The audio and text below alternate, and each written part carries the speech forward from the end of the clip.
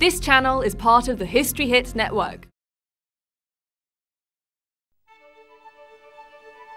August 1997. William and Harry were enjoying their summer holiday with Prince Charles at Balmoral, the Queen's Scottish retreat. Royal homes and estates are part of the heritage they share with Charles and the royal family.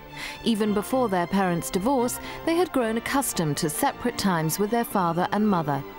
Now they were looking forward to seeing her again, but within days, their lives would be altered forever by her tragic death.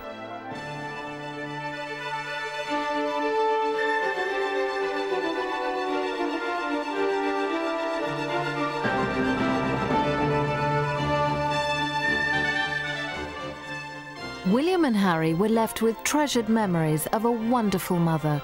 Diana had enriched their childhood with experiences and adventures beyond those of any previous royal generation.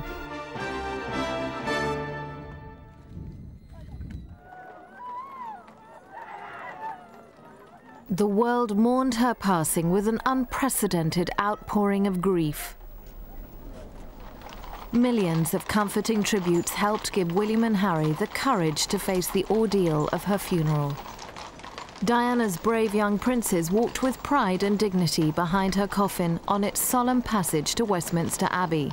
It was their own decision.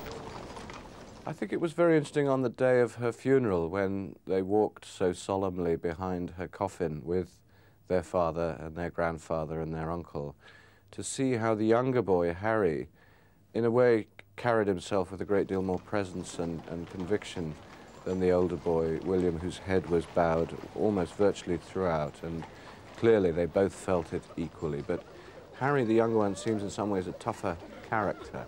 Also, interestingly, she was very consciously training up Harry, the younger one, as a sort of support system for his brother, because she knew from what she'd seen and herself lived through that life was actually going to be tougher for William. He was going to be the one in the focus the whole time.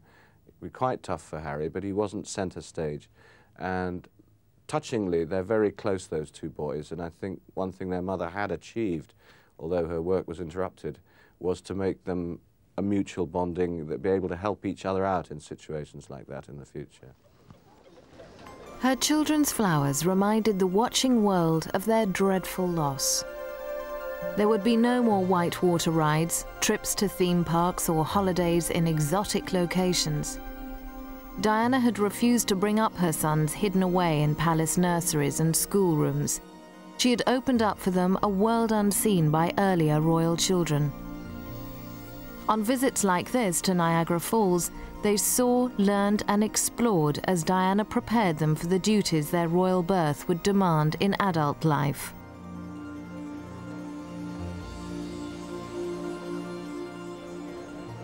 The mother who filled their lives with fun also took them on more private journeys, visiting the sick and the disadvantaged, who formed the focus of her charity work and campaigns.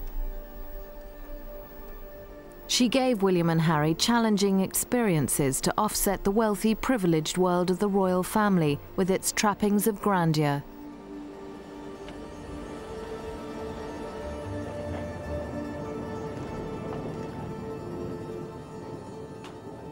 Diana was the most tactile and demonstrative of royal mothers. She missed her sons badly when foreign tours kept them apart.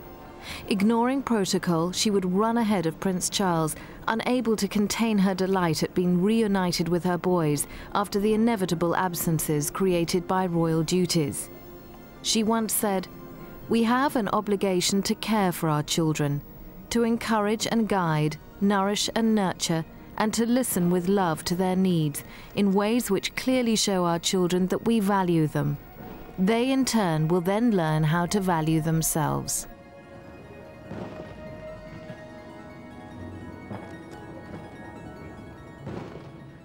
Charles too believed in showing warmth and affection to the children, often publicly. His childhood had been blighted by too many parental absences and by a too rigid and formal nursery schedule. Charles and Diana's obvious love for their boys was not enough to keep the family together. However, the love they received from both parents in the past may prove a sound basis for emotional stability now their mother is gone.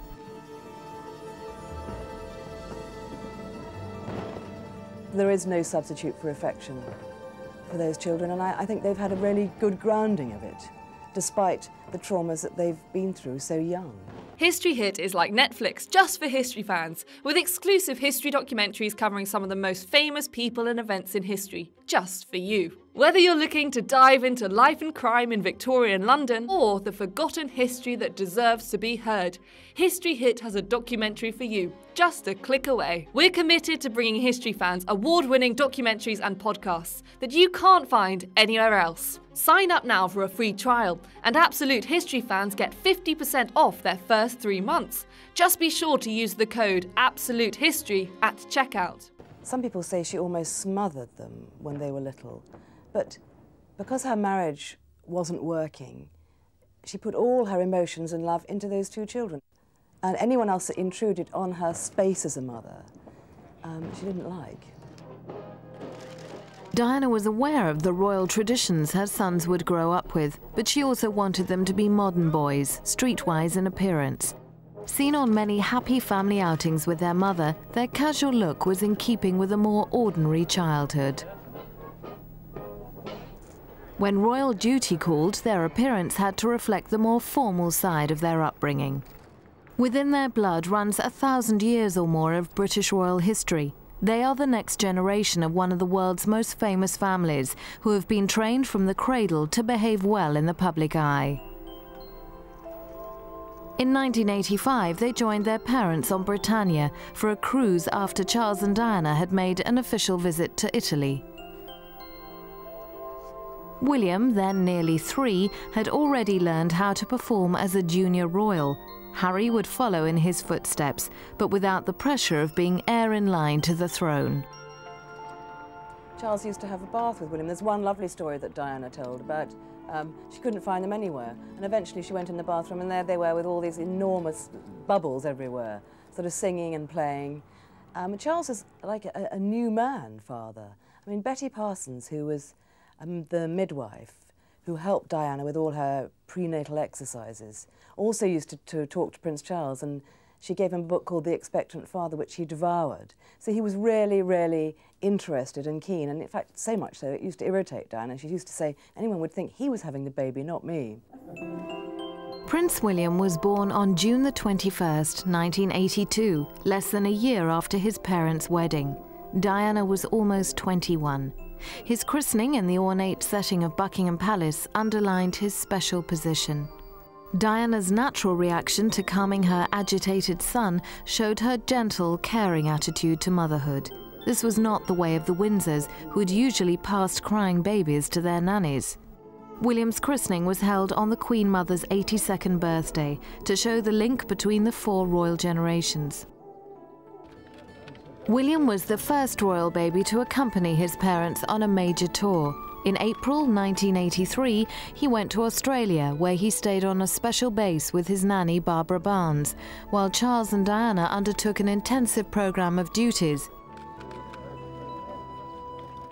Well, according to Diana, it was because the Australian Prime Minister invited her to take to bring her child along, which uh, and, and, she thought that was a wonderful idea, and, and so did Prince Charles, uh, and, and so did the Queen. So they took him along I mean, he wasn't with them all the time. And she also said it, it was a great help because it gave her something to talk about.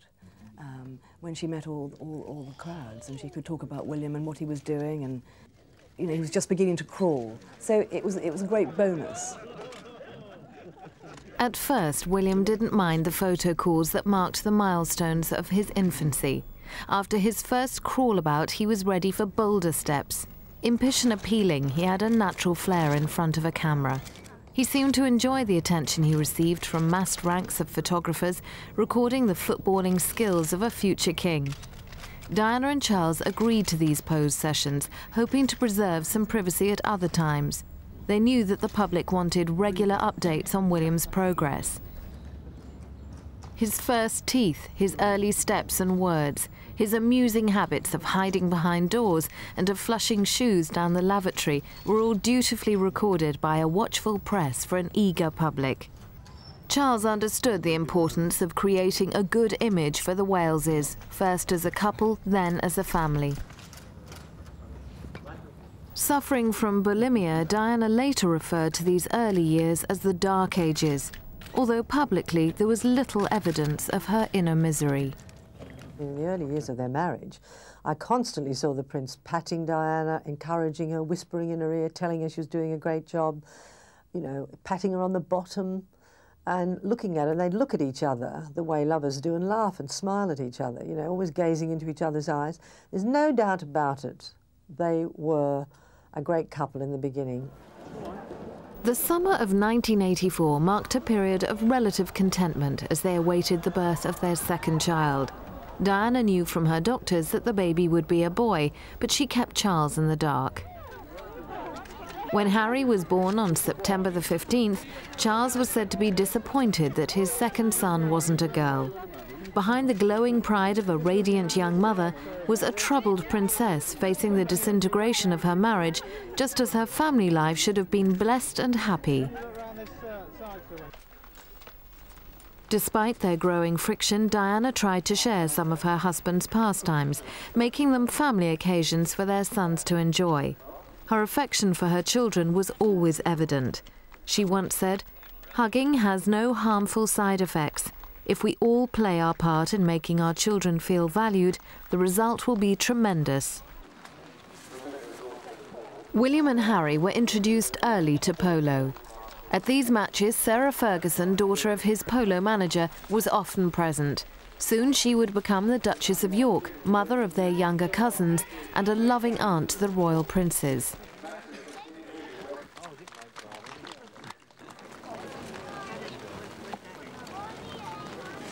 William and Harry can look back on many happy times they spent with her and Diana. She may offer a special comfort to them in sharing memories of those lost days. Summers also meant holidays with the Spanish royal family at their Majorcan retreat. The Wales family went there from 1986 to 1988, when Charles and Diana were putting on a show of togetherness to disguise their separate lives and their separate loves. Going to Mallorca and missing part of the Balmoral break had been Charles's idea. Although King Juan Carlos and Queen Sofia and their family were warm and hospitable, Diana felt ill at ease. Parental tensions were running high, but the young princes were already adjusting to their situation and their exalted position, where they were constantly photographed and commented on. William and Harry were growing into well behaved youngsters who knew that princes were expected to be perfect in public. All the royal children have the most perfect manners. They, partly because they have the best choice of nannies to start with.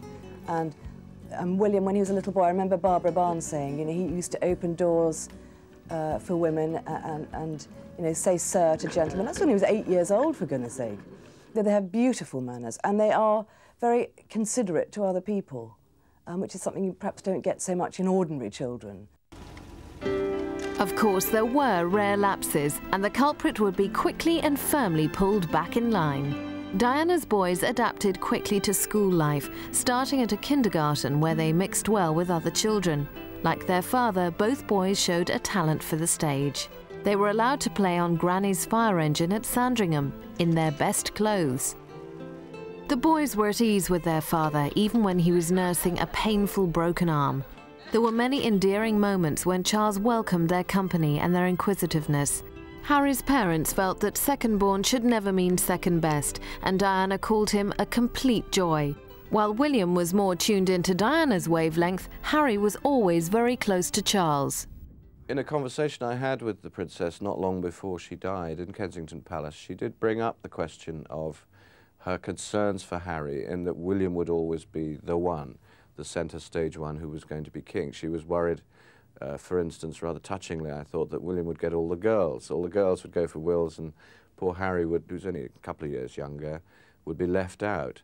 And so she was already kind of taking steps to try and make sure that they were treated equally, even though in royal standing terms, William was, would always be number one. As Charles and Diana grew apart, her sons became her gentlemen escorts for some evening engagements. Diana loved to show off her handsome boys, and they were thrilled to be seen with their glamorous and stylish mother.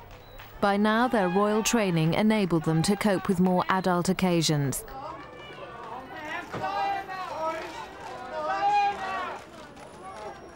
Together, together, fine.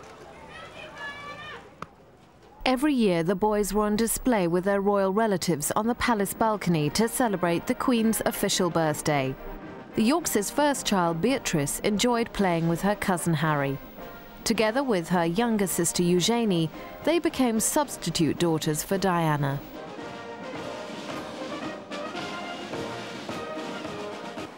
She never had the little girl she wanted, but she resisted the temptation to mollycoddle her sons. Diana encouraged their boyish preferences for sports, such as skiing, go-karting, rafting and swimming. While hunting and shooting remained their father's territory, water sports were provided by a series of sunshine holidays with their mother. Differences between the two boys' personalities began to develop. William was the quieter, more intuitive, Harry the more mischievous. Life is going to be much tougher for him than it is for Harry because he's going to be the future king after his father. He's going to be the centre of attention. And I know Diana worried about that. And she was training up Harry as a kind of support system for his brother. They are very close. Um, life won't be too easy for Harry either, especially because I think in that period the monarchy is going to be, quotes, modernised, uh, which means very slimmed down. Prince Charles wants it to be just the monarch and his heir. So Harry, unlike uh, some of current royals, probably make, could go out and get a, a proper job if he wanted to, and I think the British people would approve of that and lead a relatively normal life. For William, whatever happens to the monarchy, life is always going to be like it is for his mother. Hounded, harassed, pursued, privately as well as publicly. Uh, his misfortune as well as his good fortune being that he looks rather like her and he's her legacy made flesh. Their school days were some of the happiest of any royal children. From kindergarten, they moved to Wetherby's Day School before boarding at Ludgrove. Diana was always present for school sports days. They were timetabled in her diary before any other duties. Whatever the demands on her, or however difficult her private life, she was always ready to cheer on her boys. She was no slouch when it came to the fiercely contested mothers' races, her exercise and fitness routine usually ensuring a royal winner. Win or lose whatever the outcome of the children's races, Diana would always reward them with a cuddle. As a result of her loving approach and her interest in all their activities, her sons felt cherished. More than anything, she believed in the giving and receiving of affection. I don't think you can spoil children with too much love and attention. I think that's, that's a myth. But um, I found that she didn't spoil them in terms of being a sensible mother. She was very good at nagging them about their manners. And as a result, they're both beautifully mannered boys and, you know, being tidy, because Diana was fanatically tidy. And so uh, she was always reminding them to pick up things. It's, that's the sort of things that mothers do. I mean, that's normal. To have somebody come along and nag you, I think is, is keeping you in touch with reality. You know, life is not easy and you have to learn to, to look after yourself. And I think she gave a lot of that. She was very well balanced mother in that sense. To achieve her objective of well-adjusted children, Diana allowed them to follow some distinctly non-royal pursuits. Racing buggies in America was considered dangerous and not in keeping with the House of Windsor's constrained attitude to child rearing. Diana was sometimes criticised for lavishing too many treats on her children, too many trips to theme parks or too many expensive holidays. She may have overcompensated for the missing stable domestic background that she had sought to provide and had failed. Diana was also accused of upstaging her husband by her displays of affection and by her action-packed adventures, which made him look a stuffy, uncaring father.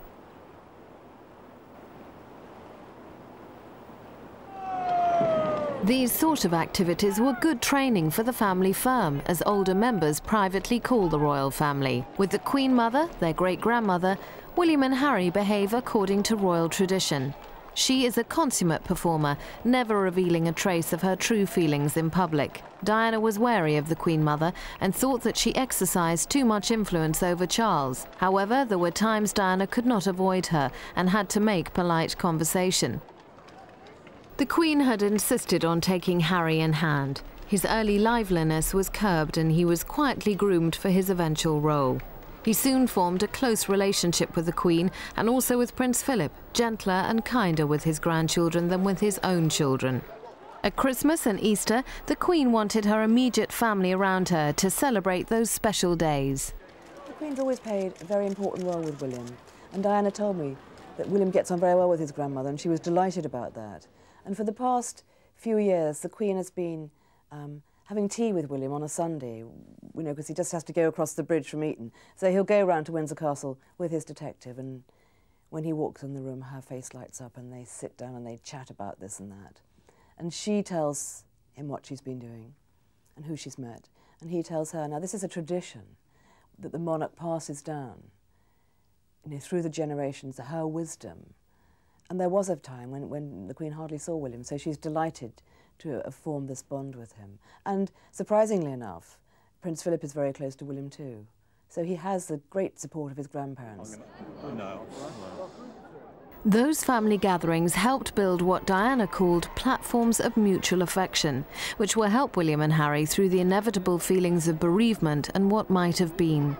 The royal family will have to cope with anguish and despair, which may return when triggered by places and events. The boys may turn to their older cousins, Princess Anne's children, Peter and Zara Phillips, who love their Aunt Diana and also have happy memories of her good humour and her kind heart. But Peter and Zara are different. Much further down the line of succession, they will be allowed to have freedom in their choice of careers, while William and Harry have a narrower path ahead. Their mother, who was such a dynamic force in their lives, had tried to raise her sons in an imaginative way for a new millennium and a new style of monarchy. She wanted them to feel a sense of unity with ordinary people. Now her work will have to be completed by the family she sought to change.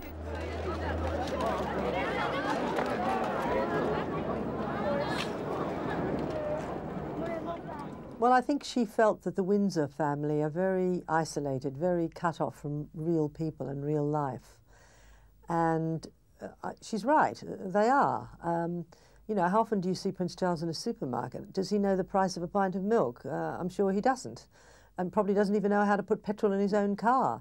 So she was determined that her boys would not grow up like that. She wanted to keep their feet on the ground.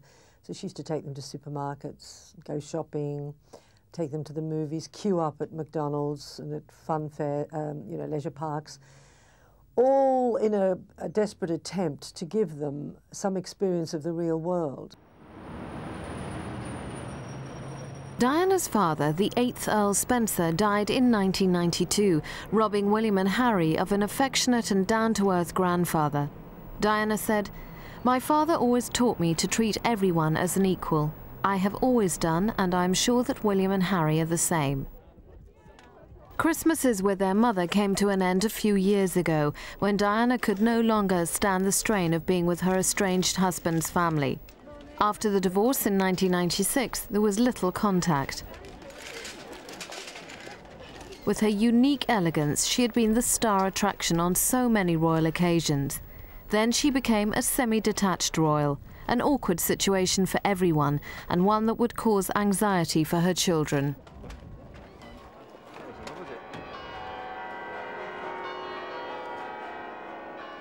Yet it was Diana who instilled much of the basic royal training into her sons. The royal family benefited from her huge popularity, which was also being passed on to William and Harry. She taught them how to behave on walkabouts, how to shake hands, receive flowers, and how to conduct themselves under the spotlight. They simply had to follow her example.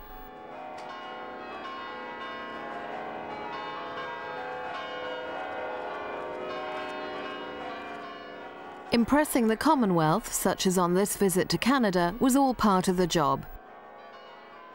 There is little doubt that Diana was used to enhance the prestige of modern royalty abroad. She had been the jewel in the crown, a shining, charismatic woman who had made the House of Windsor look stale. She desperately wanted to keep the best of its traditions while bringing it into line with a world ready to enter the 21st century.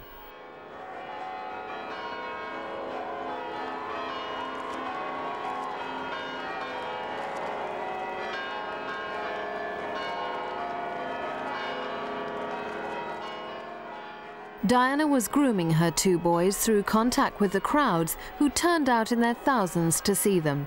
There may have been an element of rivalry with Charles, who never shared the easy rapport his wife did with the public. You have to remember, because of their tender years, that actually half their lives had been blighted by the public warfare of their parents' very acrimonious divorce. It's tough enough for any kids if their parents split up at that age, but in the case of William and Harry, there was all sorts of public warfare, the dirty linen being hung out a bit too much, friends of Prince Charles, friends of Diana, mutual insults flying in the national press. Uh, the, the schools can say that they hid the newspapers from these boys, but we all know that other school children can be pretty cruel, and uh, it's not always possible to do that. I think both parents, in their different ways, tried to nurse them through each stage, and we know that Diana kept going down to these schools to tell them what was going to happen next before they read it in the papers. But I think it's bound to have left scars on both of them. And uh, it would be surprising if William and Harry, in their different ways, didn't grow up without certain emotional problems that any children who'd been through that at that age would have. In public, Charles and Diana were obliged to put aside their differences and appear united. However, unity was short-lived, and even when visiting their son's school, Ludgrove, they would travel in different cars.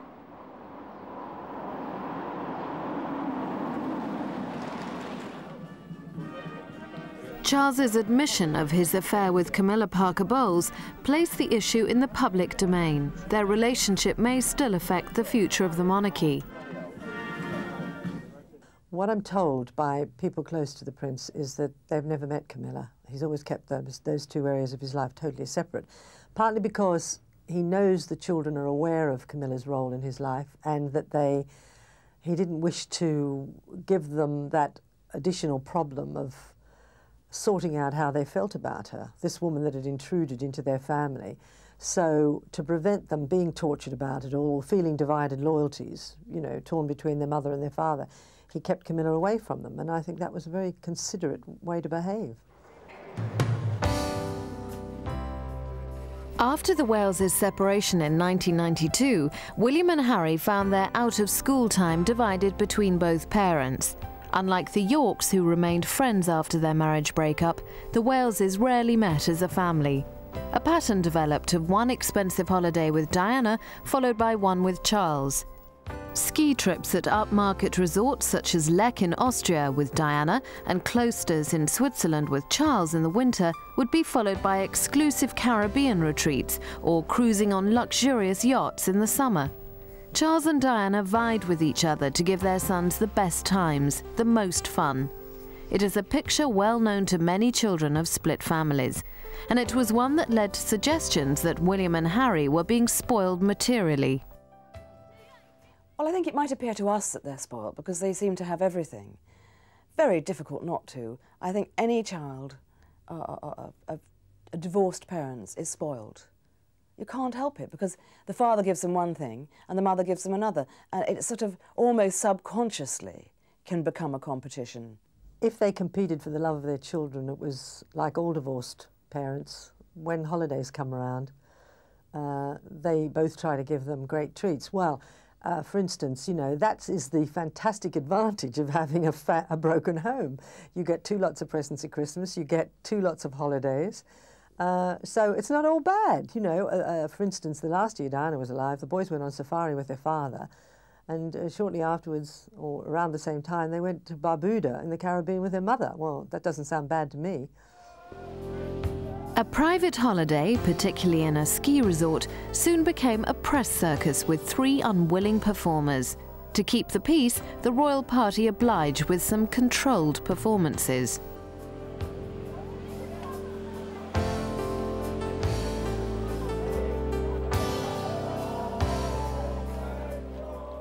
Diana resented the constant intrusion of the paparazzi, keen to make a quick profit from snatched pictures of the princess and her sons. Ominously, Diana found herself in dramas and squabbles with pressmen, which tended to encourage rather than put them off. Situations could get out of hand. The boys, in particular William, dreaded these unseemly scuffles and confrontations. Sorry. I remember once a, a terrible fight in the street in Austria when William and Harry were caught right in the middle of it. Two Italian paparazzi tried to, um, I mean, really get literally right up their noses. It was ridiculous. They're trying to take pictures from this sort of distance. And Diana objected and got very upset. And uh, her policeman rugby tackled one of the photographers to the ground. Well, the two boys were standing there watching all this and they became very concerned. And Diana had to hurry them away back to their hotel. And that was the sort of incident that I don't think they should have witnessed. They shouldn't have seen that. I mean, you can't plan when paparazzi are going to pop out of the woodwork and photograph you. But I think if Diana had taken it very calmly and kept walking or, you know, stopped and let them get a picture, it would have been a lot easier on the children than having this big confrontation in the street.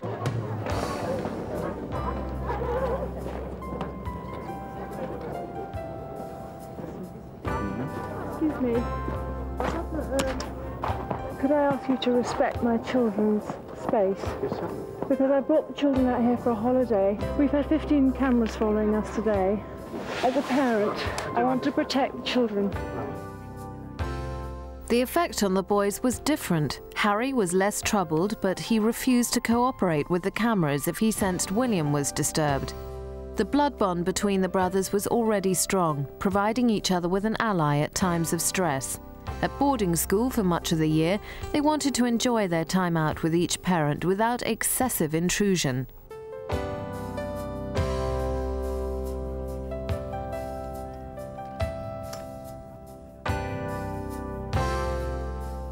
William began hiding his face in his hands. He was no longer the little boy who readily played at photo calls, but an anxious teenager needing space and privacy. He found little of either. He doesn't like the spotlight, hates publicity, hates facing cameramen. And I think that's largely because he saw his mother involved in so many scuffles in the street with uh, photographers, especially foreign ones, continental ones. William's problems with cameramen are so bad now that they've become a serious worry to the Queen. Um, I mean, I remember talking to Diana about this once and saying, uh, you know, she said, oh, William doesn't like being photographed. And I said, well, I'm sorry, it goes with the job. If you're going to be a king, you've got to be photographed. She said, oh, you're very hard. And I said, well, I think I'm just being realistic. You know, the sooner William gets accustomed to photographers, the better it's going to be easier for William.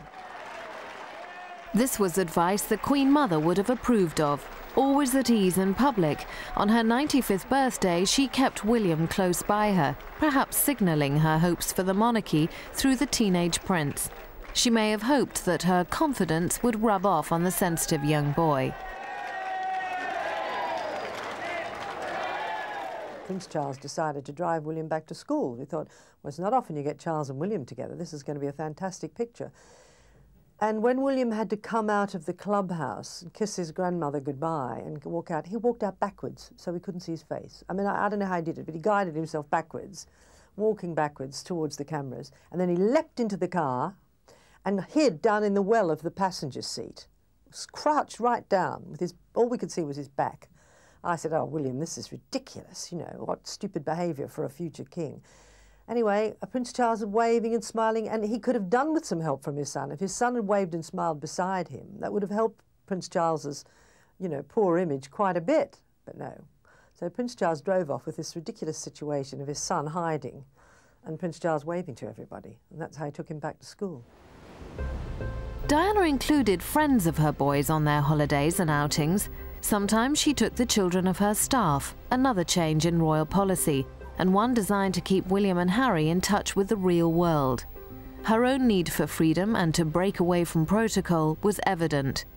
She had found palace restrictions suffocating and archaic. Diana was a very modern mother, one whose boundless energy and mischievous sense of humor will be dreadfully missed by her sons.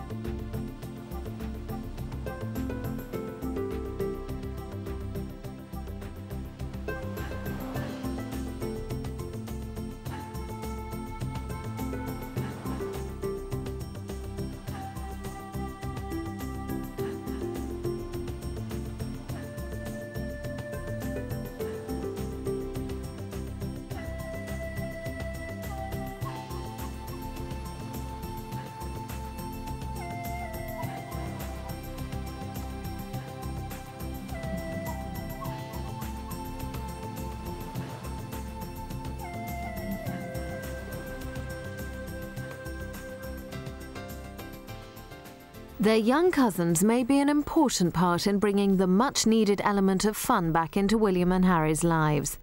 Beatrice and Eugenie were close to William and Harry and shared several holidays with them.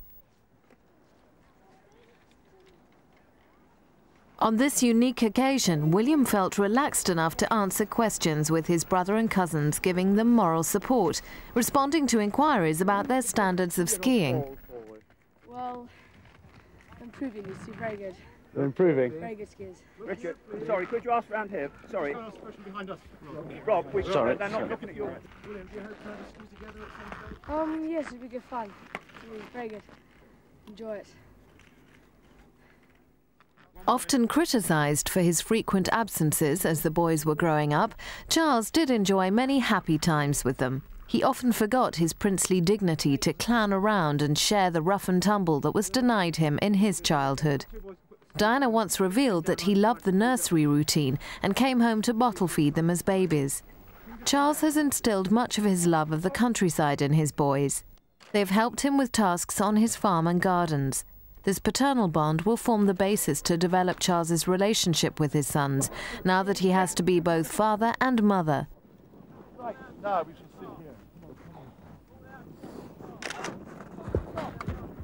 do you want us to turn around and go back or what? No, stay here. Friends?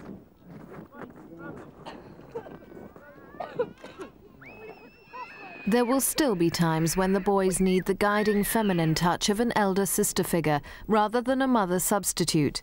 Charles's friend Tiggy Legge-Bourke, who comforted them in the terrible days after Diana's death, may provide a gentle female influence to guide them into adult life. William joined Eton College in 1995. It's now a kinder, more supportive school than in days gone by. Charles and Diana were in complete harmony over their son's schools. Charles chose Eton because he had hated his own school, Gordonstoun, so much. Eton College was also a place where generations of Diana's family had been educated. It also allows William easy access to nearby Windsor Castle, where the Queen often spends her weekends. William is exactly like his father, very reserved, very thoughtful, conscientious. Um, you know, he even sounds like his father now that his voice is broken. You'd swear you're listening to Charles. So, you know, he looks like his mother, but he's his father's son. Harry doesn't suffer so much. Harry's rather thick-skinned. He's very like his mother. He quite revels in the spotlight and uh, makes jokes about it. He's got exactly his mother's personality. He, he's very exuberant, very lively, fun-loving. Nothing fazes Harry. Diana often took the leading role with her elder son. She was guiding him towards his destiny as king. She wanted the monarchy to survive, modernised and in touch with its people, for William to take the throne in adult life. She believed she would never be queen and doubted that Charles would become king. She poured her hopes and ambitions into William. He was, you know, barely 10 years old when uh, she started revealing how she felt in front of him. And uh, I think as a result, William's matured very fast. He's much more mature than most boys of 15. But that's also perhaps because of the daunting burden that lies ahead of him, the, the monarchy. And uh, when you're 15, you might want to be a rock star or a nuclear physicist. You don't want your life mapped out for you. Kids of that age want to feel free. They're, all their school friends are talking about, you know, I'm going to backpack around Africa or something, and, and he doesn't have that choice. Uh, It's, it's very sad. I've heard Prince Charles talk about how awful it is to have your whole life mapped out for you, and I know William's a very sensitive boy, and he'll have absorbed a lot of that and think, well, I've got the same fate awaits me, sitting around waiting for my parent to die so I can become king. Who wants that? You know, it's, it doesn't seem like a real job. Eton's elitist image belies the fact that it is now a modern school. William's schoolmates are drawn from a wide section of society. They will choose their careers. His was prescribed by his birth. I think one of the effects of him becoming much closer to his father and perhaps spending much more time with his royal grandparents is that William will be instilled with the same sense of duty that Charles was in his youth and will begin to take the duties very seriously, which is important because you occasionally wonder in a modern age in which we live with a prime minister who's pledged to modernise and change Britain, shed the past, shed ceremonial a bit, do unthinkable things, whether William, given that all he's been through, might say in the next few years, who needs this? Uh, the people don't seem to want us anymore. We're going into Europe. What's the monarchy's role? It would be very human and people would understand if he said, I don't think I want to do this. In January 1997, Harry went skiing with Charles while William preferred to stay out of sight with his grandparents in the peaceful sanctuary of Sandringham. Second-born sons have become monarchs, notably George V and George VI this century. Although history often repeats itself, Charles and Diana wanted Harry raised as a support to his brother.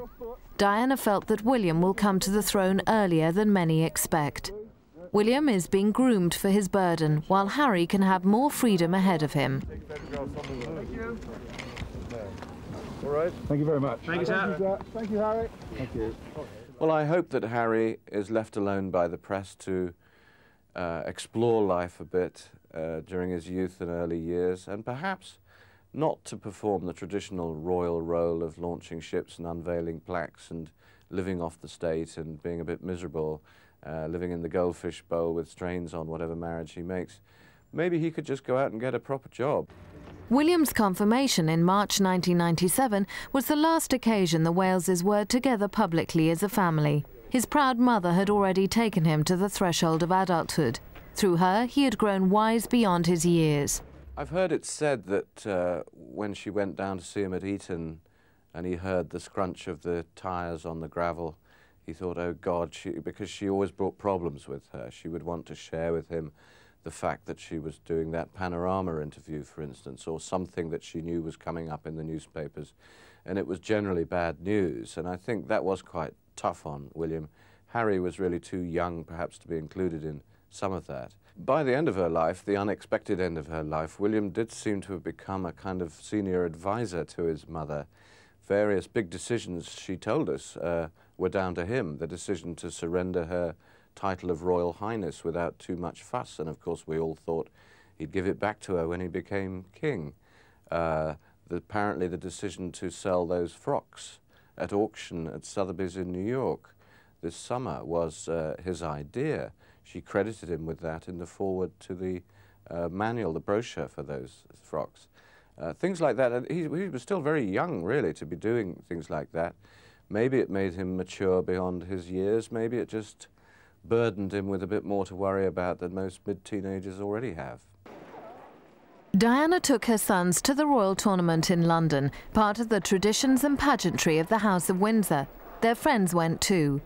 Diana encouraged friendship. She felt it was vital to have trusted companions. She would have wanted her beloved boys to find the lasting happiness that had eluded her. But who could compete with such a beautiful, loving mother?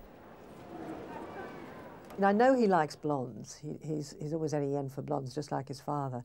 So, you know, it's going to be tough, isn't it? To, I mean, most boys like to get a, a girl just like their mother was.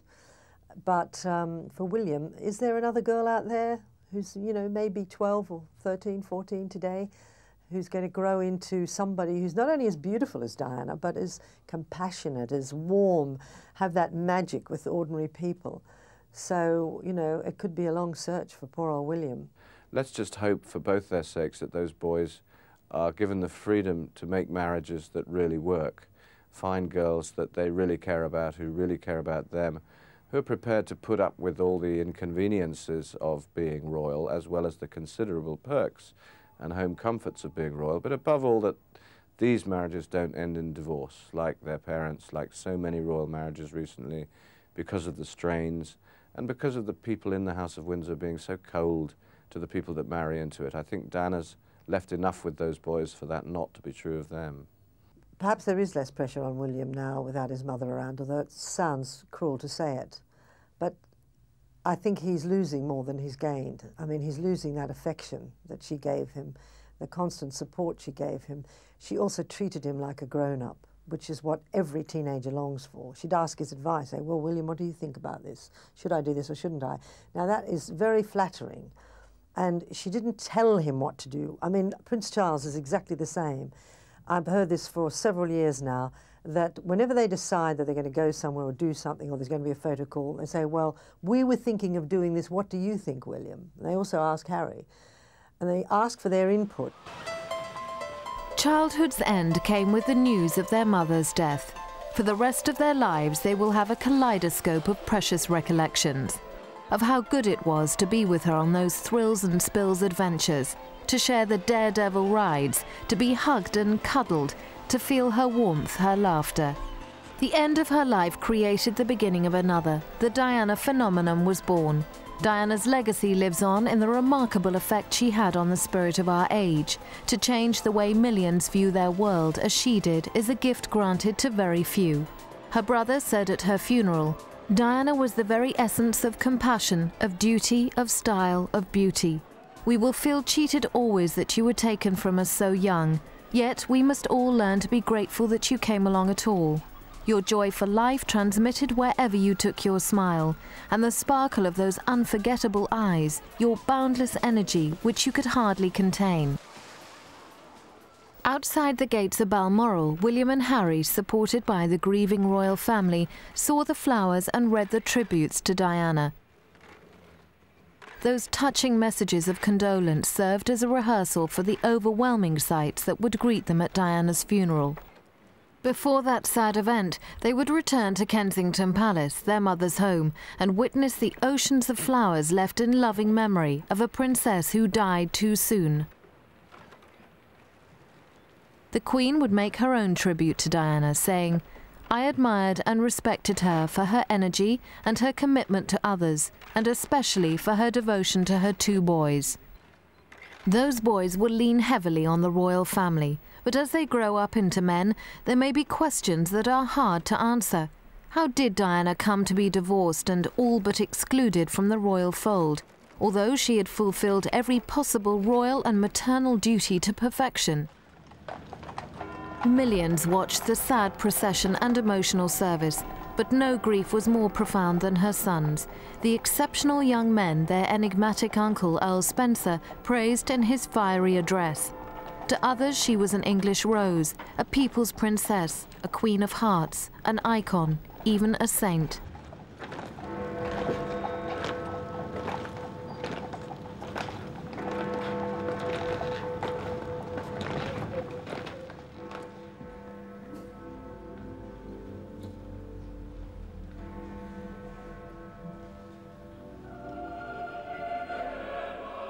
To William and Harry, Diana was simply their mother, and they will never totally get over their loss. Over her coffin, Earl Spencer vowed that Diana's blood family would protect her sons from the excesses of protocol and press harassment. Charles will share his belief that William and Harry should not be totally immersed in duty and tradition, and that their souls should sing openly as Diana planned. He will continue her task of raising their sons to independence and maturity, it will not be easy.